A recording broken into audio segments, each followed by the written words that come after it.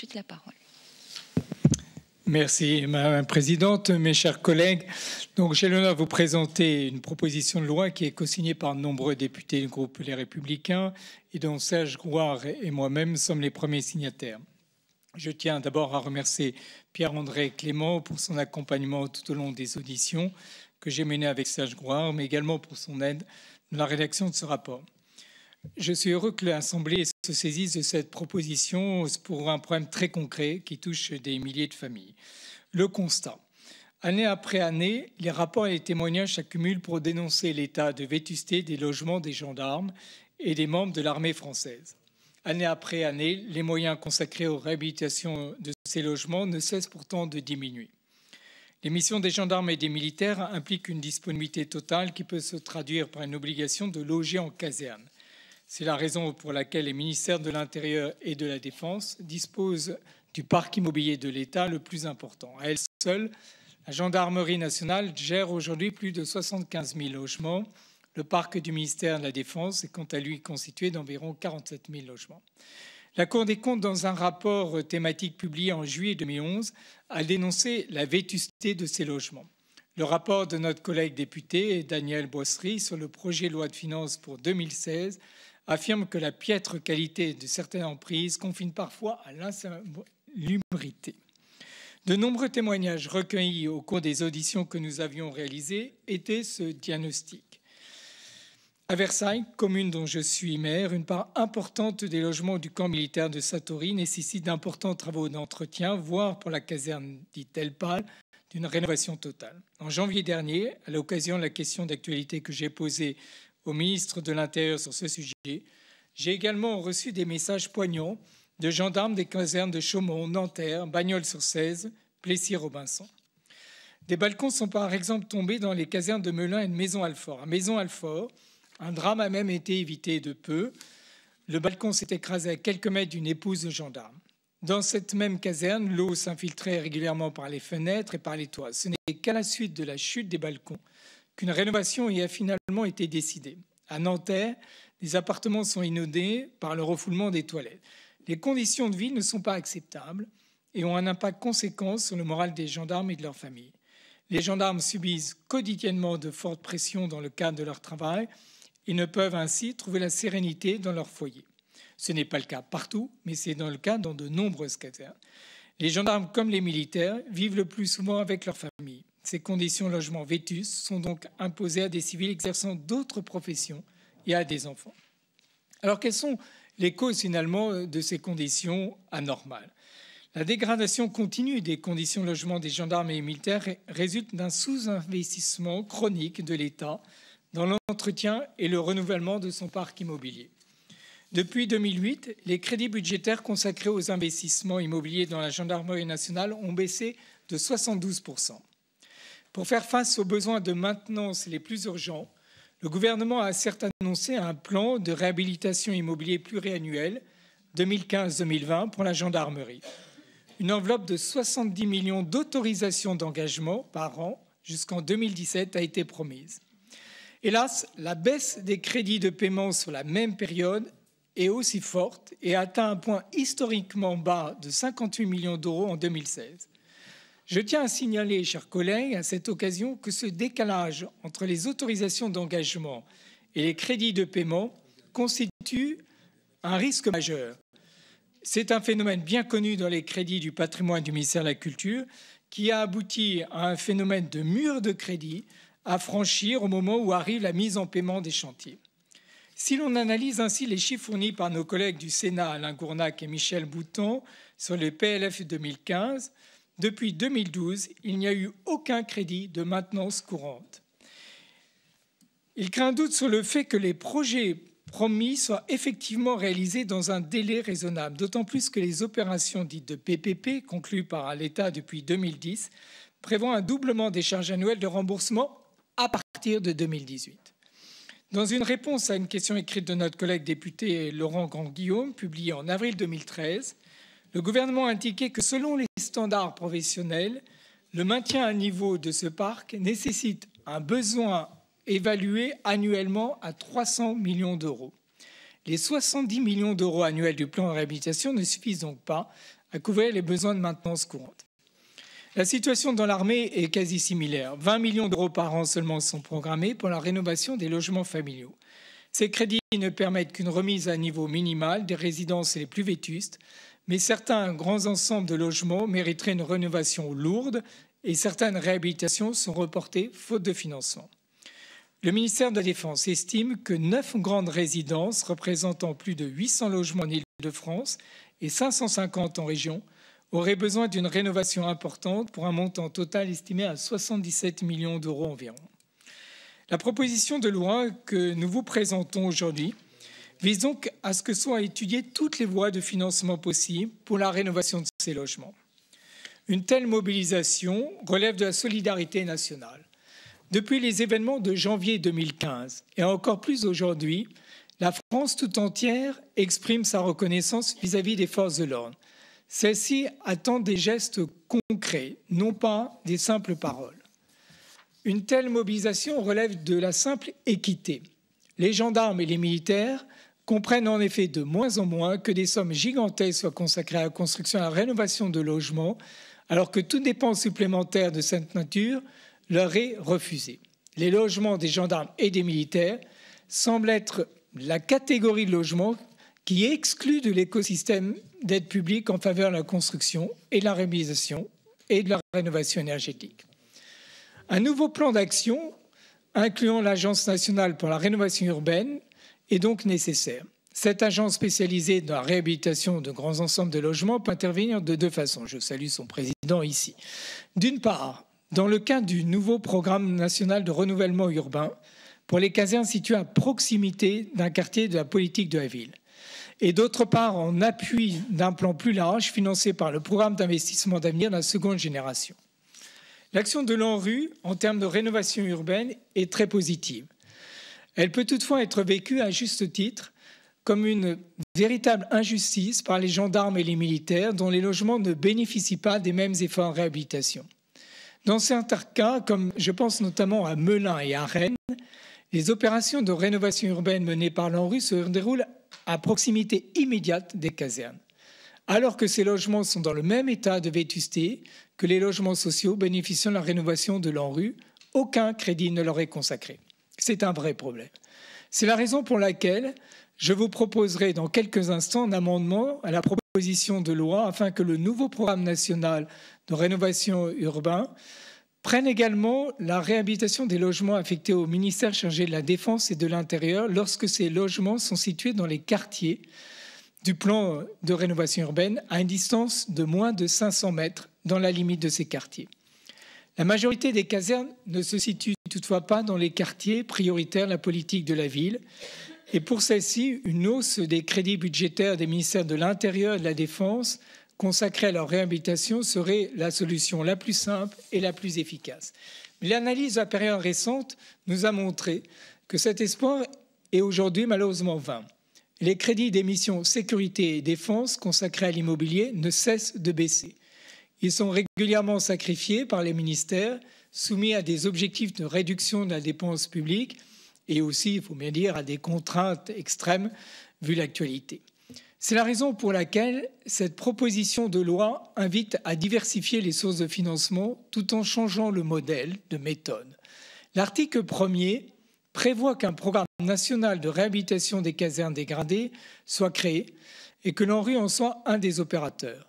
Ce programme viserait en priorité les grands ensembles domaniaux que nécessitent des opérations d'envergure.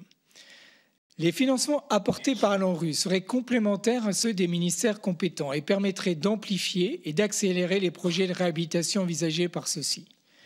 La désignation de cet opérateur peut peut-être surprendre. Elle est toutefois pertinente pour trois raisons.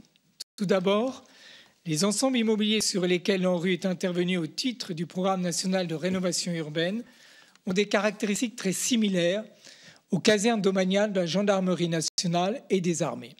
La plupart des casernes dégradées sont des immeubles construits dans les années 60 et 70 et qui n'ont fait l'objet d'aucune rénovation depuis leur construction.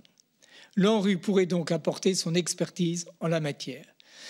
Ensuite, ce ne serait pas la première fois que l'ANRU interviendrait en dehors des quartiers de la politique de la ville.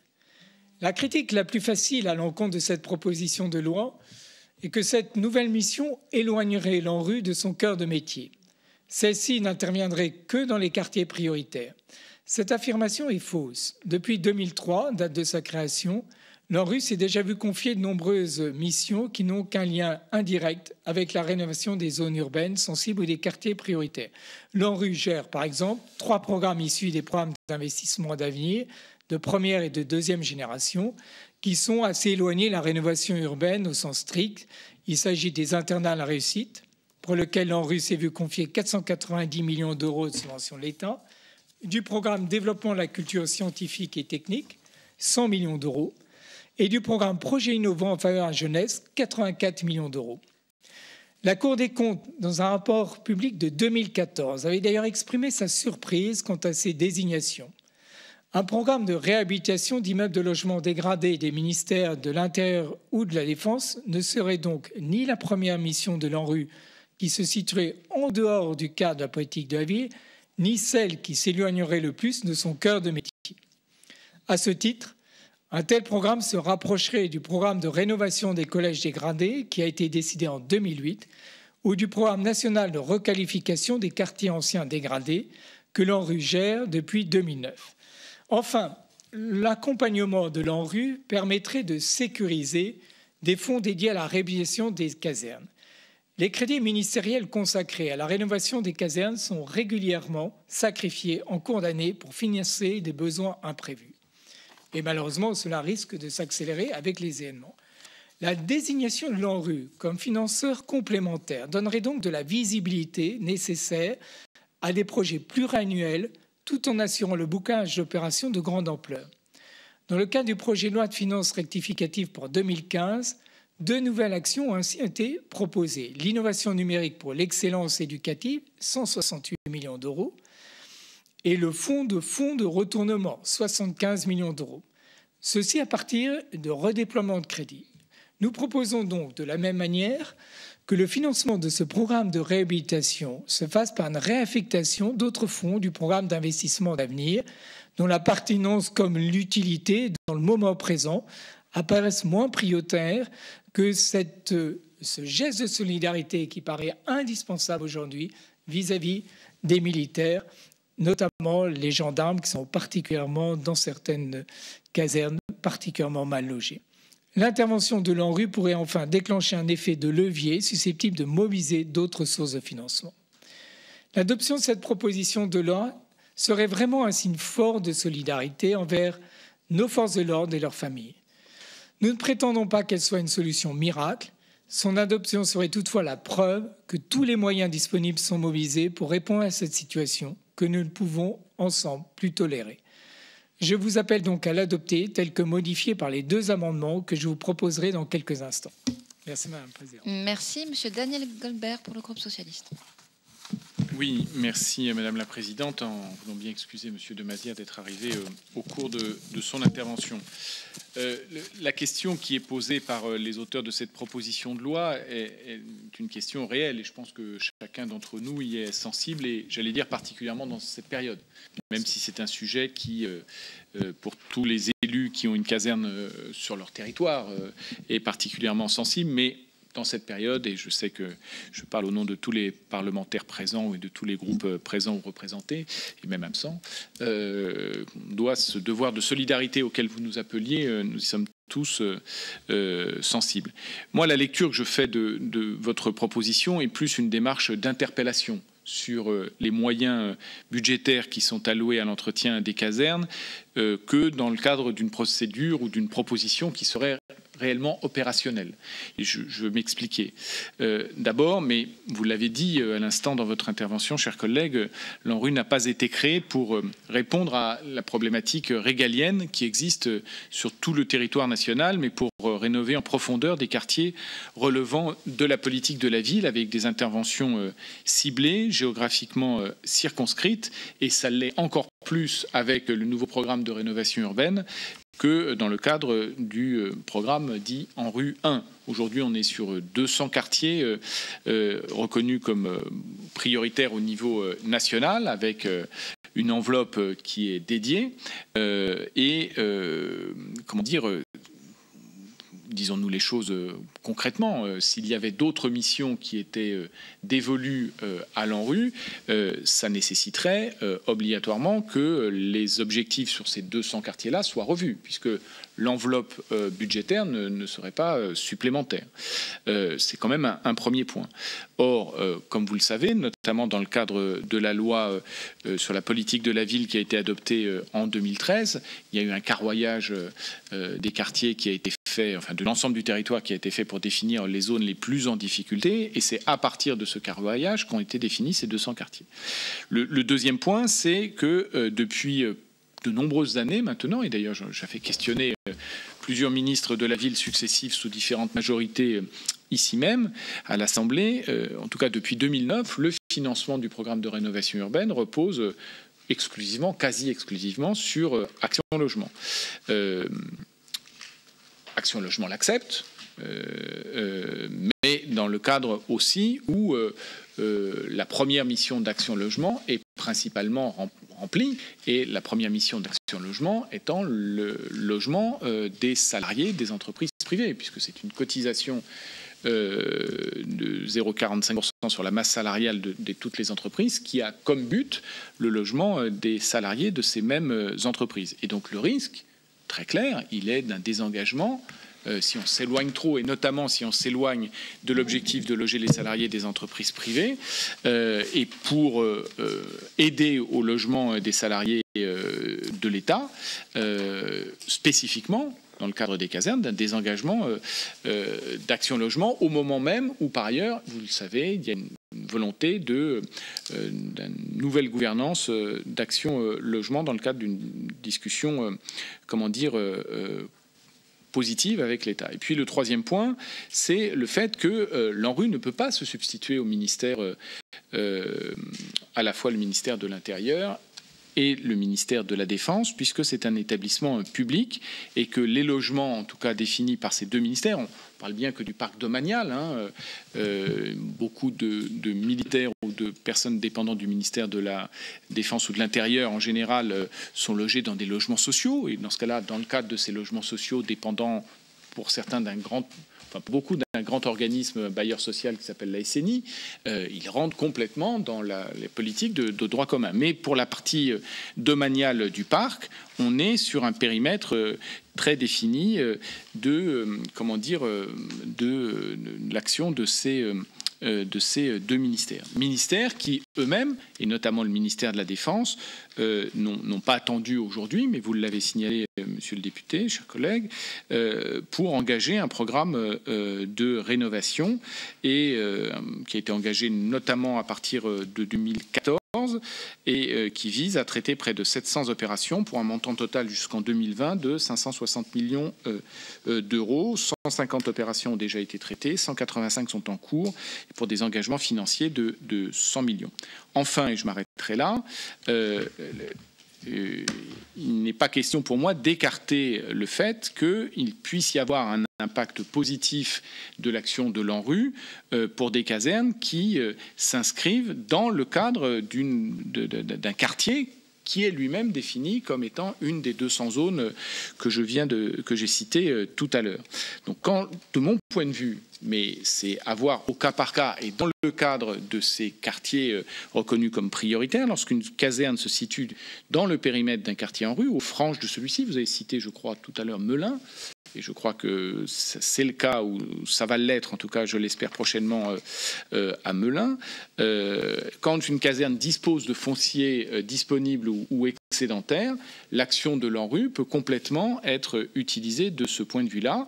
Et aussi, lorsqu'une caserne euh, se situe hors d'un quartier prioritaire de la politique de la ville et dispose du foncier, moi je ne suis pas fermé à ce qu'il y ait une réflexion quant à la mobilisation d'une partie de ce foncier pour la reconstitution d'une partie des logements sociaux démolis par ailleurs. Voilà, pour toutes ces raisons, euh, encore une fois, moi j'entends la, demande et je crois que là, sur tous les bancs, euh, enfin les bancs, les allées présentes ici, je pense notamment à l'action que mène le rapporteur pour avis du budget sur ces sujets, Daniel Boisserie, avec lequel j'ai eu l'occasion aussi d'échanger, qui est très sensible. Vous ne trouverez ici que des députés qui sont sensibles à, obtenir, y compris euh, euh, par un meilleur euh, appui budgétaire des ministères compétents pour le logement des militaires et des gendarmes logés dans, ces casernes domaniales, par ailleurs qui ne sont pas que du logement. mais vraiment, je crois que ajouter une ligne en, termes de mission complémentaire de l'ANRU, alors que d'autres sujets pourraient être posés.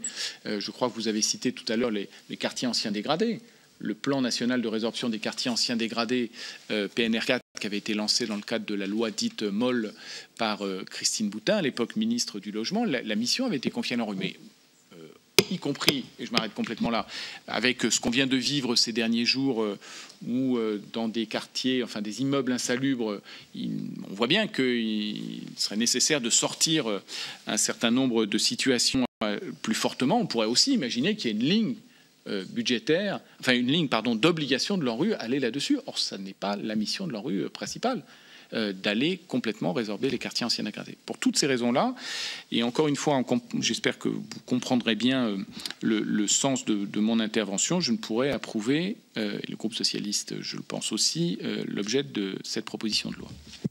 Merci, Monsieur Serge Couard, pour le groupe Les Républicains. Merci, Madame la Présidente, et merci à vous de, me donner la parole, euh, même si je ne fais pas partie, euh, je le regrette parfois, de votre commission. Euh, mes chers collègues, Monsieur le rapporteur, cher François. Euh, d'abord, je, voudrais saluer la, présentation euh, que j'ai trouvée, comme je pense chacun d'entre vous, tout à fait remarquable du rapporteur.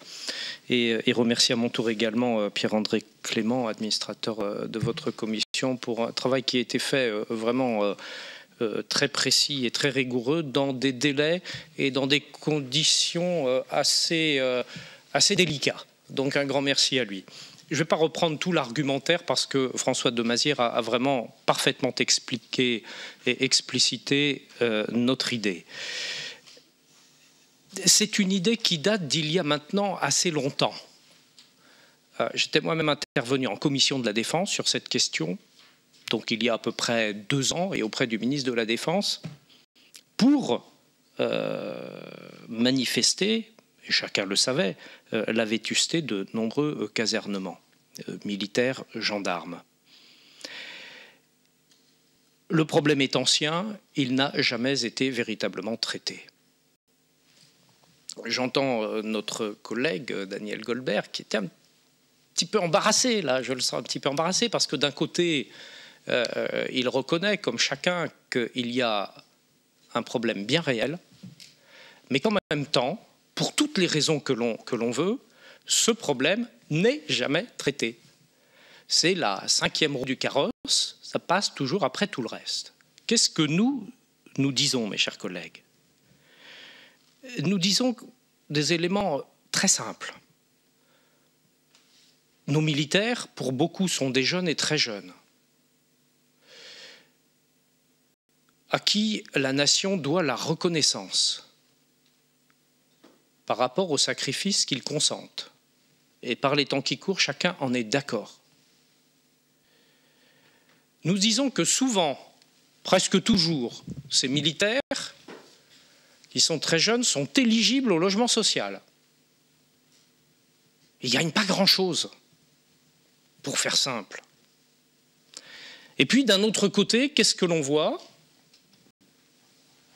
Des programmes que je salue, et en tant qu'ancien maire d'Orléans, euh, j'en ai pu voir l'effectivité euh, et les bienfaits. Programme de rénovation urbaine lancé à l'époque par Jean-Louis Borloo, avec toute la réussite qui s'en est suivie. Et ces programmes se poursuivent. Et on arrive à une situation qui, quelque part, euh, en tout cas je la ressens comme telle, recèle une injustice assez profonde. On refait des quartiers et on a raison de les refaire parce que c'était indigne. Et je salue à mon tour le, président de l'ANRU, euh, qui s'y emploie beaucoup, on le sait.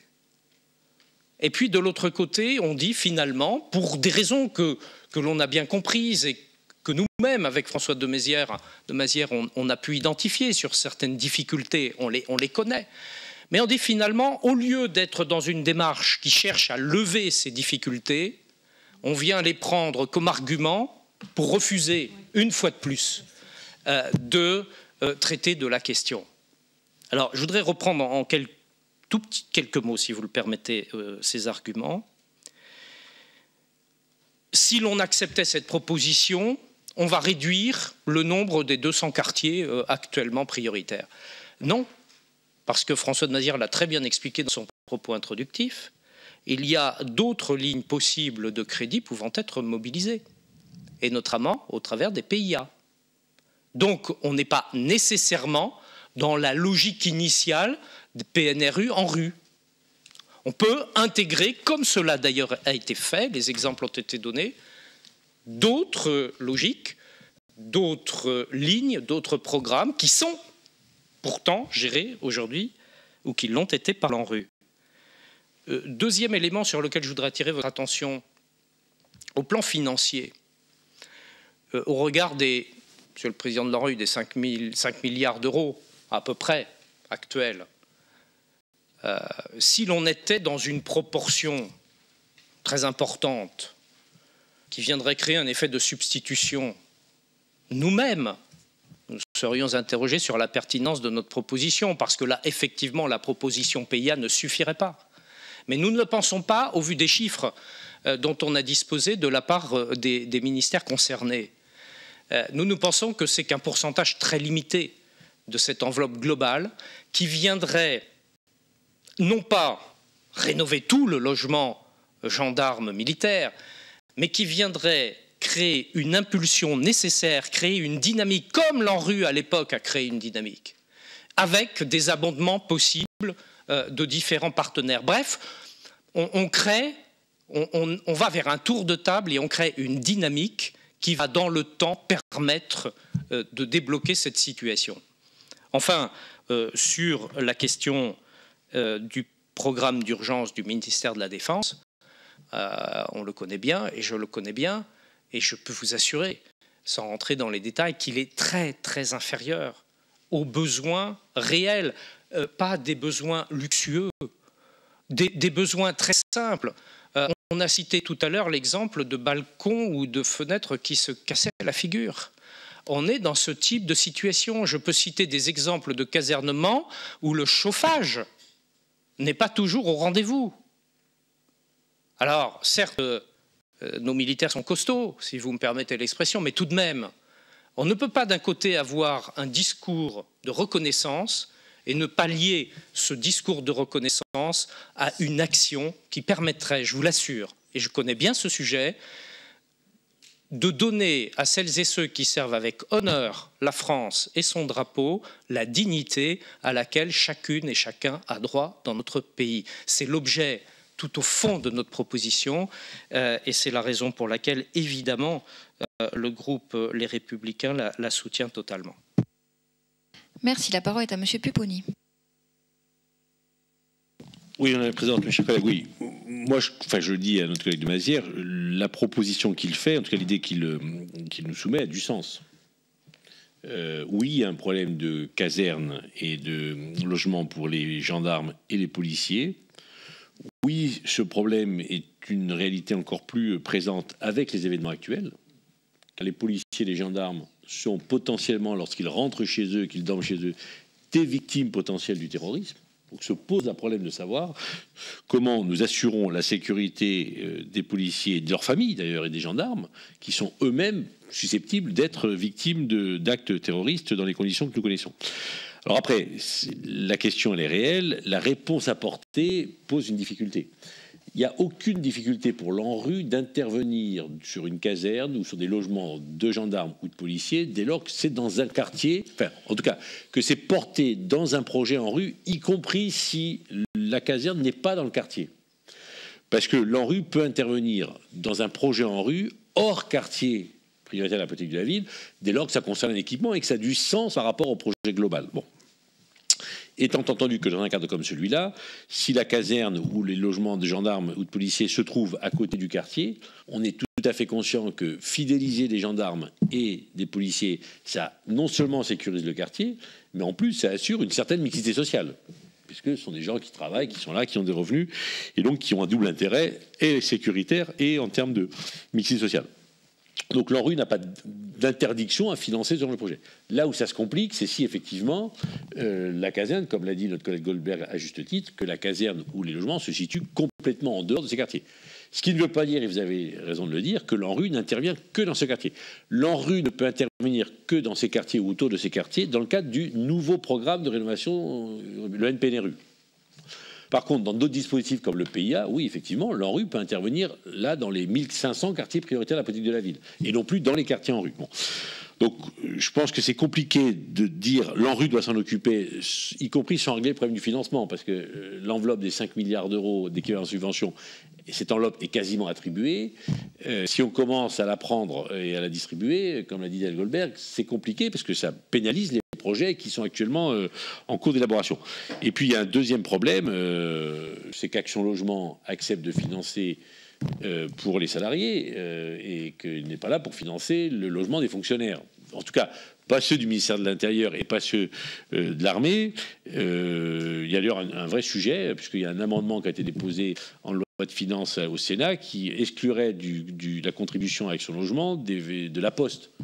Et, j'ai découvert aussi que la SNCF ne finançait pas Action Logement pour le logement des, euh, des cheminots. Bon, donc, il y a un sujet sur qui finance le logement des fonctionnaires en général, euh, et, il faut qu'ils répondent. Donc, moi, ça me paraît compliqué, en tout cas pour le président de l'ANRU, de valider euh, la proposition de loi telle qu'elle est. Donc, je partage l'avis de Daniel Goldberg. Par contre, je pense qu'il faut qu'on y travaille un peu plus. On peut étudier dossier par dossier. Je sais qu'il y a le dossier de Melun, par exemple. La maire de Melun est venue voir comment on peut financer, dans le cadre du programme de rénovation urbaine de Melun, le projet de, rénovation de la caserne concernée. On peut regarder au cas par cas.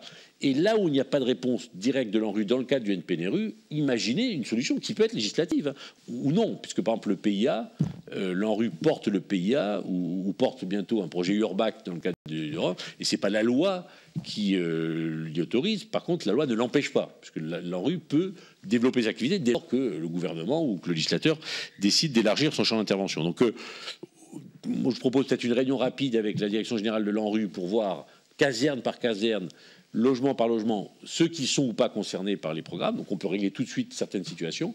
Et puis peut-être de continuer à travailler ensemble pour euh, améliorer et trouver une solution pratique pour les autres cas qui ne pourraient pas réglés, réglés dans le cadre du NPNRU. Merci. Vous voyez, monsieur le rapporteur, quand même un certain nombre euh, d'ouvertures qui peuvent être faites et qui peuvent se concrétiser euh, si au-delà cette PPL n'était pas adoptée. Donc je vous laisse la parole afin de répondre. Bien, merci Madame la Présidente, puis merci chers collègues. Alors déjà, un premier constat, c'est qu'effectivement, je pense, comme vous l'avez dit d'ailleurs, euh, collègue euh, Daniel Goldberg, notre proposition n'est pas inutile parce que c'est l'occasion. Bien sûr, bien sûr.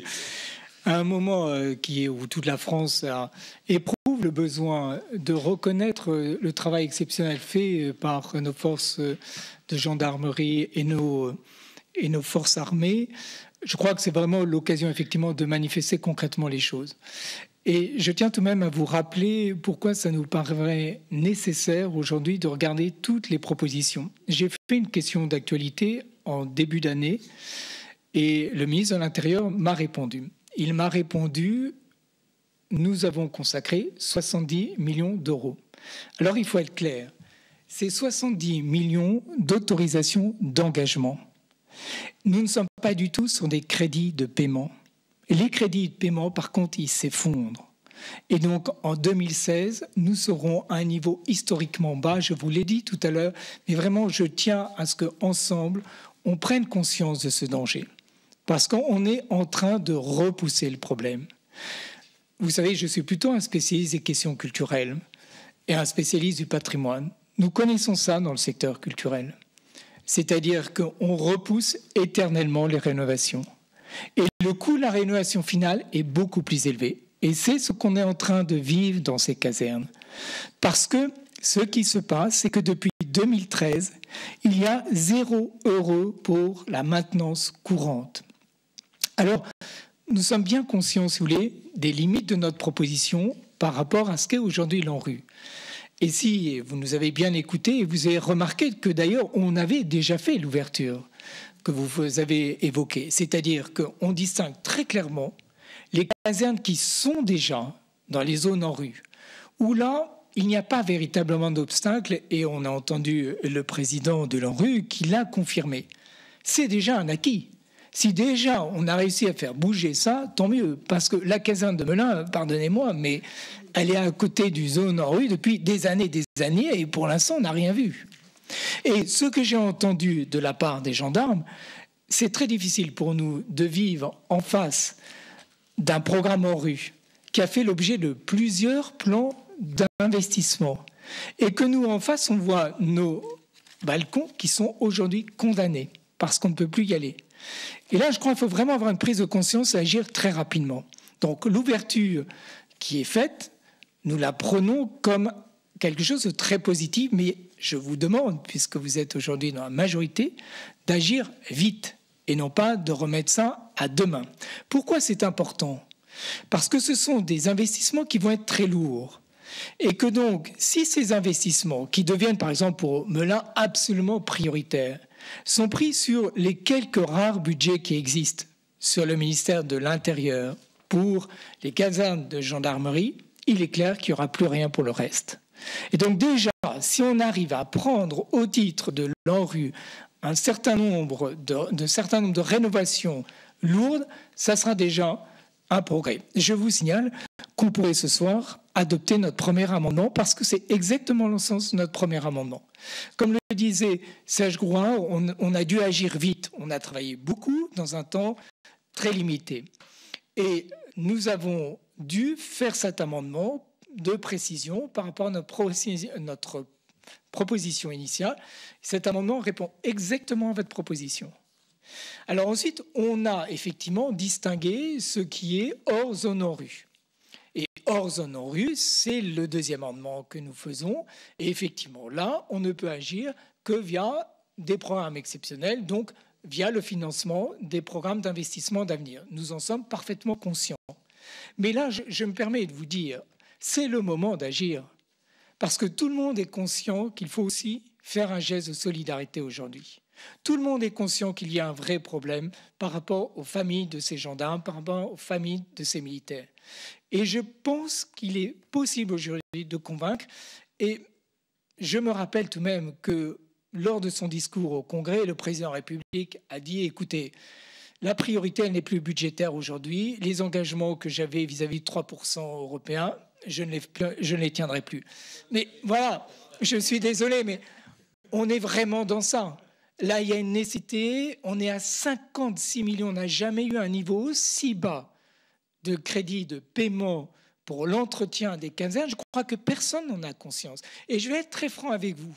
En creusant le dossier, je me suis intéressé au problème des AOT. Puisqu'en fait, on voit tout de même une ligne qui reste euh, relativement substantielle sur les AOT. C'est-à-dire, en fait, ce sont les programmes de partenariat public-privé. Et par curiosité, je me suis dit, je vais regarder tout de même les plans de financement de ces AOT. Qu'est-ce que je constate? C'est que jusqu'en 2018, en gros, on met très peu de crédits. Et à partir de 2018, sur ces programmes qui sont parfois des programmes de 30 ans, à ce moment-là, soudain, on voit les remboursements qui augmentent. Donc le mur financier dont je vous parlais tout à l'heure, il va véritablement être infranchissable. Alors notre responsabilité à nous, c'est pas de faire la politique à la petite semaine vis-à-vis justement de ces gendarmes, de ces militaires qui montrent, eux, un caractère exceptionnellement courageux dans des circonstances particulièrement difficiles. Il nous faut être courageux, il nous faut dire la vérité. On ne peut pas repousser les choses de cette manière, parce que ça veut dire que nos casernes sont véritablement totalement délabrées et que le coût de leur réhabilitation sera monstrueux. Alors on pourra dire c'est en 2018. Mais en 2018, il y aura un pouvoir et ce pouvoir, il devra résoudre un problème qui est devenu insurmontable. Donc je pense qu'on peut vraiment ensemble adopter notre premier amendement. J'aimerais que vous adoptiez le deuxième aussi sur les PIA. Je sens que ça va être plus difficile. Mais vraiment déjà, si, si vous pouviez... Mais je crois que tout le monde ici est convaincu qu'il faut faire quelque chose. Et si ensemble, il n'est pas si mauvais. J'ai entendu le président Lanru, il est lui-même, il pense qu'il y a quelque chose à faire. Et Daniel Goldberg aussi. Alors écoutez, ça irait plus vite si on ne se mettait pas autour de la table, puisqu'on est déjà en rang serré. Mais euh, nous vous invitons à suivre notre proposition. En tout cas, ce soir, c'est l'occasion ensemble, parlementaires que nous sommes, de groupes politiques différents, d'affirmer notre volonté que l'on trouve une solution. Et pour nous, vous l'avez dit à un moment, c'est peut-être une proposition d'appel. C'est plus que ça, mais c'est aussi effectivement une proposition d'appel et on l'assume. Merci, monsieur le rapporteur. Donc, euh, on peut considérer que vous avez défendu euh, brillamment vos deux amendements. On peut considérer qu'ils sont défendus, vos amendements? Je crois qu'ils sont défendus et j'attends un vote favorable. Donc, nous avons un premier amendement qui est avant l'article premier, qui, donc, je, vous, vous en dites deux mots ou alors vous... Eh bien, écoutez, euh, nous avons effectivement considéré que l'ANRU avait vraiment vocation à intervenir sur les casernes qui sont dans des zones en rue. Et donc, on a pris un critère qui est une distance de 500 mètres. C'est exactement euh, le cas, par exemple, pour euh, Melun, qui est vraiment emblématique d'une opération qui doit être faite rapidement. Il y a de parole sur cet amendement?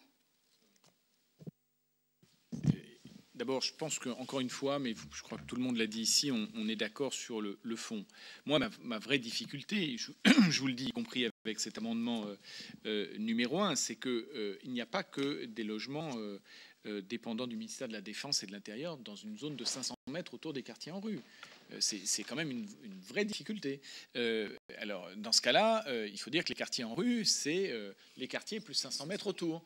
bon, et, dans ce cas-là, on ne s'en sort plus, même si, et je crois qu'on en est encore une fois tous d'accord, les exemples très concrets que vous avez cités, les balcons de chauffage, on vous a tous bien écouté. Pour les, nos militaires, nos gendarmes, sont, sont très présents. Donc, je, ne sais pas comment vous comprendrez ce, geste. on va vous laisser, en tout cas, moi, c'est la proposition que je fais, parce que je, considère, y compris, qu'il n'y a pas forcément besoin de loi, pour être clair, pour que le cas de la caserne de Melun, qui est revenu plusieurs fois, puisse être traité par l'ANRU. François Pupponi est parti. Je pense que dans, un cadre comme cela, dans le cadre de la rénovation d'un quartier global, une, caserne qui est située à proximité n'a pas besoin de cela. Deuxième chose, si vous me permettez d'aller un peu plus loin dans, mon explication, Madame la Présidente, euh, euh, moi je souhaite qu'il y, ait, euh, y ait un vrai travail maintenant. Je, Bon, je, suis un petit peu moins dur que vous l'êtes, mais chacun est dans sa position ce soir vis-à-vis du ministère de la Défense et du ministère de l'Intérieur sur la partie domaniale des casernes quand même rappeler que sur euh, près de 4000 casernes, seules 671 sont domaniales et la, plupart d'entre elles sont, euh, relèvent du parc locatif social ou des collectivités territoriales. Donc on parle de ces 671, d'après le chiffre que j'ai euh, là. Mais qu'il y ait qu'on soit tous motivés, et, je serai parmi vous, pour qu'il y ait un, travail de, de co-élaboration conventionnelle entre euh, euh, le ministère de l'Intérieur et le ministère de la Ville, le ministère de la Défense et le ministère de la Ville pour traiter ces sujets. Et je pense que, objectivement, ça serait plus utile que euh, modifier une loi avec un périmètre plus large qui englobera de fait d'autres, comment dire, d'autres types de logements, peut-être même des logements dépendant d'autres catégories de fonctionnaires de l'État. Euh, ou des collectivités locales. Donc euh, euh, c'est aussi le danger. Mais j'allais dire, si cet amendement numéro un est adopté dans le cadre de notre débat, je pense que ça sera un signe de, bonne volonté réciproque. Bien, donc l'amendement, c'est un, amendement qui fait créer un article additionnel avant l'article premier de votre proposition de loi. Alors, euh, effectivement, nous allons passer au vote puisque nous sommes dans cette euh, configuration, nous sommes amenés à voter, mais euh, il est vrai quand même que le président de l'ANRU, en la personne de, François Pupponi, qui nous a quittés pour rejoindre notre commission, a bien été clair sur la proposition qu'il fait, c'est quand même le président de l'ANRU, de pouvoir concrètement, cas par cas, travailler sur ces dossiers que vous connaissez parfaitement et auxquels il souhaiterait vous associer. Donc, voilà, aujourd'hui, nous avons une proposition de loi. Une explication a été donnée comme quoi on ne va pas vous raconter des bêtises, on ne la vaudra pas, on veut pas, on va être franc jusqu'au bout, on va pas, voilà, on va pas voter votre proposition de loi. Il paraît difficile d'adopter vos amendements. Et après de rejeter, ça n'aurait aucun sens la proposition de loi. Donc, on ne va pas non plus euh, voter vos, amendements, mais en tout cas, euh, effectivement, votre loi, et alors est-ce qu'il fallait en passer par là, aura quand même le mérite de pouvoir, euh, il est vrai, arriver à la concrétisation d'actions sur euh, des euh, bâtiments qui aujourd'hui euh, sont en réelle demande effectivement une solidarité, qu'elle soit par le biais de l'ANRU ou par d'autres outils, de la solidarité nationale. Il est vrai également, comme ça a été dit, que nous sommes quand même sur, et nous nous insisterons là-dessus également aussi, que c'est de la responsabilité effectivement de l'État et non pas de l'ANRU, de travailler là-dessus. Donc voilà, moi je veux qu'on soit très clair, puisque euh, nous, nous l'avons été euh, jusqu'à présent, donc euh, nous allons bien sûr passer au vote qui sont et pour ces, amendements. Ces amendements. Donc deux, deux Madame, de, Madame de la Rodière aussi, elle est pour. oui, voilà. voilà. Donc ça fait deux, parce que Monsieur Groard ne peut. Voilà, exactement, soutien moral. voilà, mais bien sûr. Donc qui est contre voilà, euh, l'amendement euh, ne sont pas adoptés. Ensuite, l'article 1er, vous voulez en dire deux, mots sur l'amendement numéro 2 que vous présentez? L'amendement numéro 2, c'est le complément de ce que nous avons dit tout à l'heure. C'est qu'effectivement, on distingue bien ce qui relève directement des quartiers difficiles. Donc, c'était notre premier amendement. Et puis, ce qui relève des autres quartiers. Et là, dans les autres quartiers, nous savons qu'effectivement, il faut passer par euh, les investissements d'avenir. C'est très classique. Euh, L'ANRU a l'habitude de gérer en dehors de ce quartier les programmes d'investissement d'avenir et nous pensons que c'est vraiment l'occasion de créer effectivement cette ouverture. Donc on passe au vote, même vote, je suppose, de voix pour cet amendement. Et donc euh, nous rejetons l'autre et puis nous passons au vote de l'article premier. Donc même vote L'article, oui, bien sûr. L'article premier donc euh, est rejeté. Pareil pour l'article 2, même vote. L'article 2 est rejeté et donc nous passons. Ah, on me dit que c'est pas la peine de voter, donc voilà. Donc voilà, il n'y a plus d'article. Donc, mais, je pense qu'il est important de le dire, euh, puisque là on est en on est en public, quoi, hein, puisque nos, nos, travaux sont euh, retransmis, de dire qu'effectivement, euh, nous sommes euh, conscients du problème. moi, en tant que président de la commission des affaires économiques, je vous accompagnerai sur cette démarche. Je crois qu'elle est très importante et que nous essaierons par uniquement au niveau de l'ANRU, mais au niveau également des crédits des différents ministères, de pouvoir appuyer là-dessus et de façon que globalement, nous puissions arriver à ce que tous ces hommes et ces femmes qui euh, sont euh, pour notre défense nationale et euh, dans l'intérêt général de notre pays sur nos territoires puissent effectivement être dans des logements décents. Monsieur Croix Merci Madame la Présidente. Juste un tout petit mot pour, vous remercier de ce propos et puis pour saluer l'ouverture de François Pupponi et ce que je suggère effectivement pour aller plus loin, comme les uns et les autres l'ont dit, c'est qu'il puisse y avoir euh, l'établissement de contacts, parce que nous avons constaté aussi du cloisonnement entre les différents ministères eux-mêmes euh, et, euh, avec l'ANRU, qui d'ailleurs de ce point de vue-là n'emporte aucune responsabilité, puisque ce n'était pas et ça ne reste pas dans sa mission. Donc soyons bien clairs, ce n'est pas une, une attaque contre l'ANRU, bien au contraire, mais donc qu'il puisse y avoir un tour de table, et notamment pour donner, pour concrétiser l'ouverture de François Pupponi sur quelques sites de gendarmes, policiers ou militaires qui pourraient faire l'objet, sans forcément modification de la loi, de prise en compte par l'ANRU avec bien sûr la volonté des ministères concernés on aurait déjà euh, un peu avancé.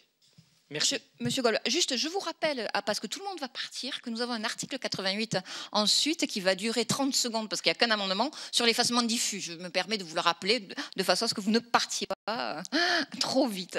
Mais pardon, Monsieur Groire, vous ne faites pas partie de notre commission, donc effectivement. Monsieur Goldberg.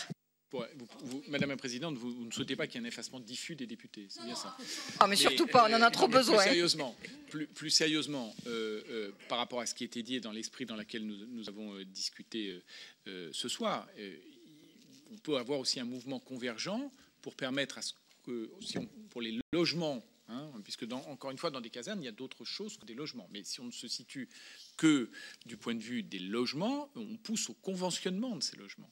Or, aujourd'hui, beaucoup des logements dont on parle ne sont même pas conventionnés. Si on rentrait dans une démarche de conventionnement, je pense que le traitement et la rénovation de ces logements, de mon point de vue, plus euh, par euh, des crédits d'État régaliens que par euh, l'ANRU, mais on serait dans une autre logique aussi. Monsieur de Massière. Euh, ce point est très important et je vous parle de mon expérience. Je suis dans une ville où il y a 2500 logements militaires. Beaucoup de ces logements, alors je parle des logements euh, défense, sont des logements gérés par la SNI. J'ai vu le président de la SNI en lui disant qu'il serait légitime qu'une partie de ces logements rentre dans la catégorie des logements sociaux. Et il m'a fait cette réponse, ça va dégrader mon bilan. Pardonnez-moi, mais votre intervention, je suis tout à fait d'accord. J'aimerais qu'on œuvre ensemble parce que c'est totalement anormal d'avoir ce type de réponse. On demande aux collectivités locales, et c'est légitime, de faire un effort en matière de logements sociaux. Les militaires, qui ne sont pas nécessairement des officiers avec des soldes significatives, répondent aux conditions financières du logement social. Vous avez des logements gérés par la SNI vous demandez à ce que ce soit des logements qui sont intégrés. Il y en a 500 qui pourraient directement passer en logement social. Eh bien, aujourd'hui, on me répond ça dégrade le bilan. J'avoue que j'ai toujours pas digéré, si vous permettez l'expression, cette réponse. Donc, euh, si on peut œuvrer ensemble, j'en serais ravi.